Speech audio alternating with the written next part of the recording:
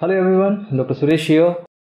And in this video, we'll be talking about the regulation of glycolysis. In our previous videos, we have in detail explained and we have gone through the metabolic pathways of glycolysis, what are the steps and what are the fates of pyruvate and such as like anaerobic glycolysis and how many ATPs are producing.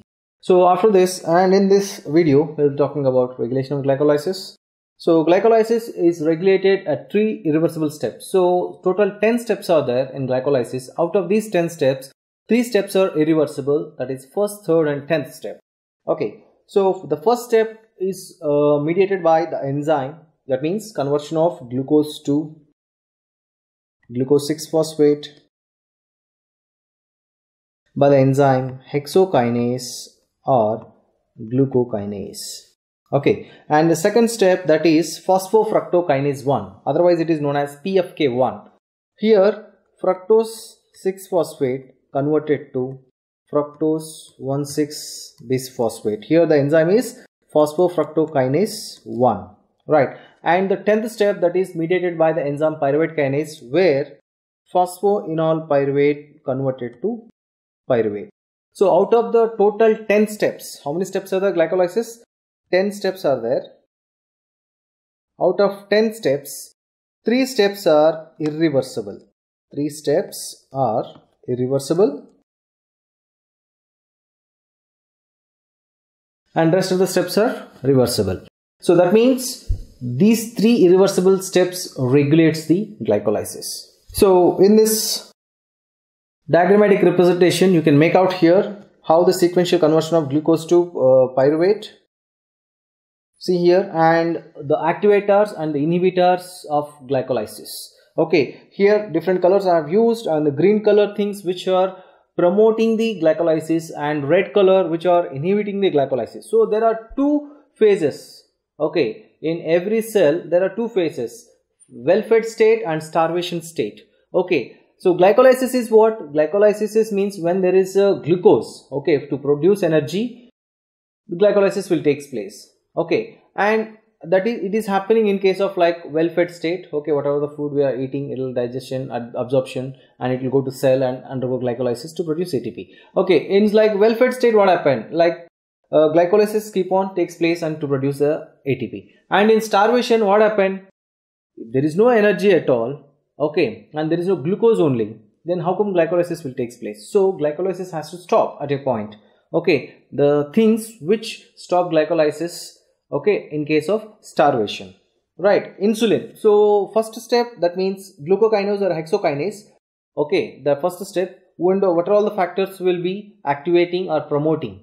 Okay this glucokinase or hexokinase enzyme insulin. Which conditions insulin will be excreted? When there is excess of glucose in the circulation when it is entering the cell there insulin will be released from getting released from the pancreas and it activates the first step of the enzyme that is glucokinase or hexokinase. Same time glucagon. Glucagon is uh, the difference between insulin and glucagon. Insulin is a hypoglycemic hormone. That means if you're if you're having high glucose levels, it will get back those high glucose levels to normal level. Okay, that's why it is known. That means it is decreasing the glucose level. So that's why it is known as hypoglycemic hormone. In case of glucon, uh, glucagon, that is an hyperglycemic hormone. That means when you don't have glucose, okay, so this glucagon will come to the action. It produces glucoses and bring back the lower below normal level glucose into normal level of the glucose level. So both are antagonists. Okay, insulin is promoting the glycolysis and glucagon decreases the glycolysis. Okay, and at the same time the first step product, okay, the first step product that is glucose 6 phosphate, okay, it will inhibit, okay, if in case there is excess of ATP, there is no need of glycolysis again so this glucose 6 phosphate like feedback mechanism, okay, it will inhibit hexokinase and stops the glycolysis. Right.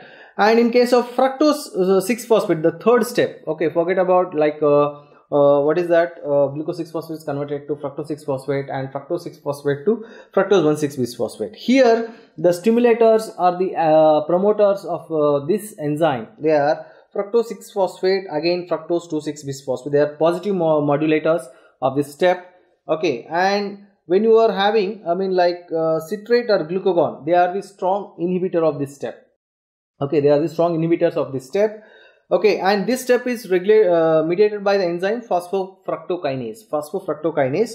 Okay, and this phosphofructokinase again inhibited by high levels of ATP. That means you are having high ATP means sophisticated amount of energy you are having. Okay, further no need of production of ATP. So this produced ATP will stop the glycolysis by inhibiting or by acting on PFK to stop the glycolysis. Okay, and AMP. AMP indicates decreased levels of uh, decreased energy status. Okay, that means your exhausted levels of ATP. Right. So ATP converted to ADP and then AMP. So AMP is a sign for decreased level status of energy. Right. So how they are working? All these are working as allosteric inhibitors. Okay. For PFK, phosphofructokinase 1, these all substances acting via allosteric inhibition. Okay. So now, so the last step that, that is 10th step where Pyruvate kinase will be again promoted by insulin, inhibited by glucagon, again promoted by ATP, okay, again inhibited by alanine. Okay, and this step, uh, pyruvate kinase, okay, in case you see the uh, thing, ATP with a high energy levels, it will be inhibiting and uh, promoting, and low levels of like uh, what to say, alanine, okay, they are like inhibiting the pyruvate kinase. So they are also working as allosteric inhibition. So this is totally different. In case of liver what are all the factors coming to the action and uh, inhibit and promote the pathway? And in case of skeletal muscles so here two colors i have uh, showed you. One is in gray color and other is in green color okay on the green color part in liver liver the total mechanism is different. In skeletal muscle the total mechanism is different. Because in liver at, at one point glycolysis has to stop. Okay but in skeletal muscles because of the continuation contraction of muscles uh, continuous requirement of energy. So glycolysis need not to stop. So it has to go on. Right so that's why the inhibitors and promoters will vary in case of liver cells and in case of skeletal muscles. So now we'll see one by one okay the mechanisms how they are working so mainly uh, out of this phosphofructokinase okay that means where fructose 6 phosphate is converted to fructose 1,6 bisphosphate and mediated by the enzyme phosphofructokinase 1. Here we said fructose 2,6 bisphosphate. Okay, how it will be forming? Fructose 6 phosphate where uh, ATP is coming and acting as uh, I mean like adding a phosphate group and forms fructose 2,6 bisphosphate and fructose 2,6 bisphosphate is a positive um, modifier or positive modulator of phosphofructokinase to increase the rate of reaction of glycolysis. Rate of reaction of glycolysis. Here, what to say? In production of this, there is an enzyme that is known as uh, phosphofructokinase 2. Okay, phosphofructokinase 2 or fructose bisphosphatase. Okay, it is a bifunctional enzyme. Okay, in making of fructose 2,6 bisphosphate, there is a need of enzyme that is phosphofructokinase 2 okay where the addition of phosphate group to fructose 6 phosphate and the speciality of this phosphofructokinase 2 is it is a bifunctional enzyme or dimer okay that means it will be activated in case of dephosphorylated state okay this enzyme is activated in dephosphorylated state and I will discuss how it will be activated. So two conditions in our body. One is well-fed state and in starvation. In well-fed state, what happened? Well-fed state, high levels of glucose will be there. So this high concentration of glucose activates pancreas and which releases insulin. So this insulin, what it will do? It again increases the production of the uh, a substance called to say protein phosphatase. Protein phosphatase.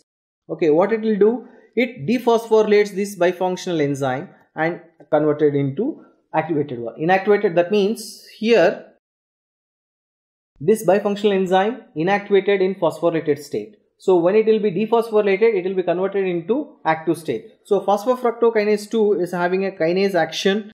Okay, and fructose bisphosphatase will be having phosphatase action. Right. So in case glucagon as it increasing the production of uh, protein phosphatase, this protein phosphatase dephosphorylates the bifunctional enzyme and activates it and this phosphofructokinase 2 increases the production of fructose 6 phosphate 2,6 bisphosphate and this again further stimulate the synthesis of phosphofructokinase and stimulates it phosphofructokinase to form more fructose 1,6 bisphosphate and increase glycolysis. Okay, So now you can uh, have it out. So in case of uh, starvation, what is happening? There, glucagon will come into the action if there is no glucose at all. This glucagon increases uh, one protein called protein kinase A. The protein kinase A, which add phosphate groups to it. Okay, which add phosphate groups to it.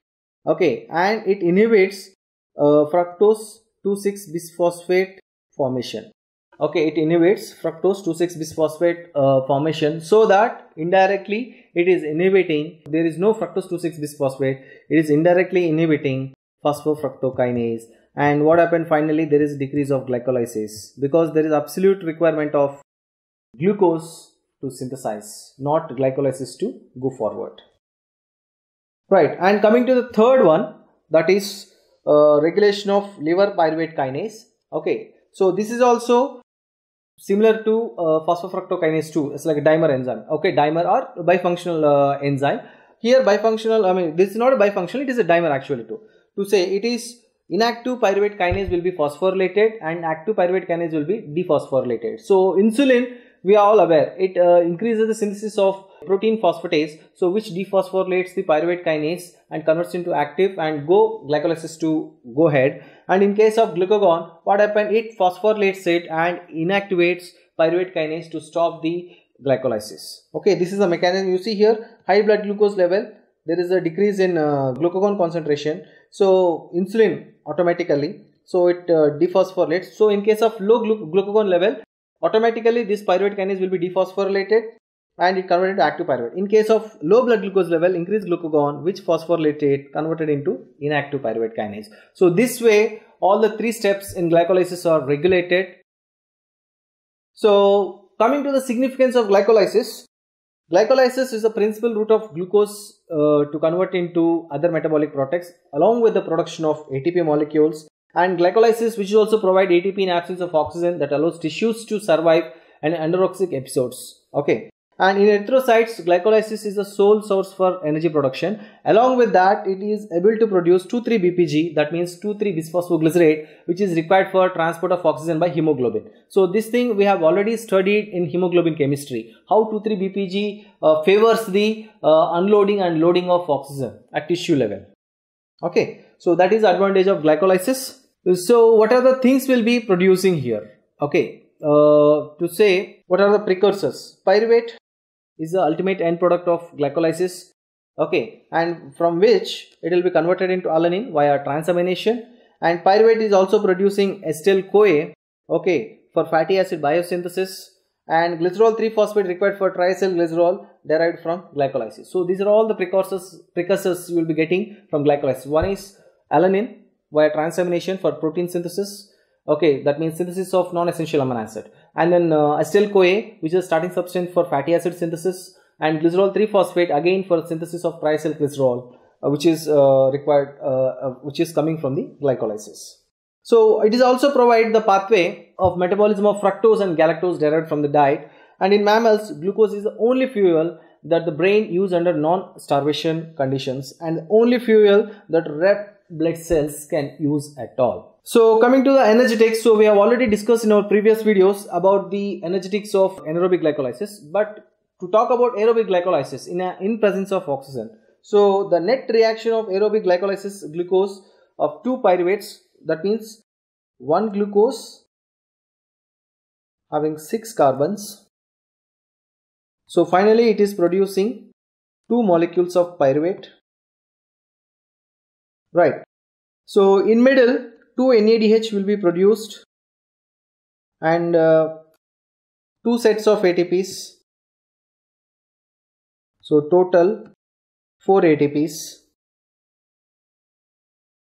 2 NADH, 1 NADH is giving you once it 1 NADH entering into electron transport chain giving you 3 ATPs. So uh, 2 into 3 6 ATPs. So again already you are having 4 ATPs via substrate uh, level phosphorylation. So 10 ATPs so out of this 10, 2 you have already invested in the starting. Okay. So here, so 10 minus 2. So net production will be 8 ATPs.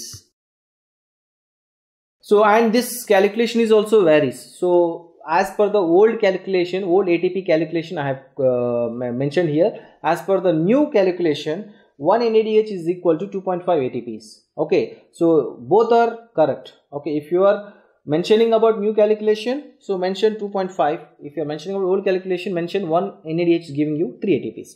So according to the old calculation, net ATP production of, of aerobic glycolysis is 8 ATPs and for the new calculation, okay, the net production of ATPs will be 7. Okay, the net gain of ATPs will be 7. Both are correct but make sure on which calculation you are going, new calculation or old calculation. So as I mentioned, in case of anaerobic glycolysis, only 2 ATPs will be produced. So that's all about uh, regulation of glycolysis and uh, energetics of uh, aerobic glycolysis. Thanks for listening. Thank you.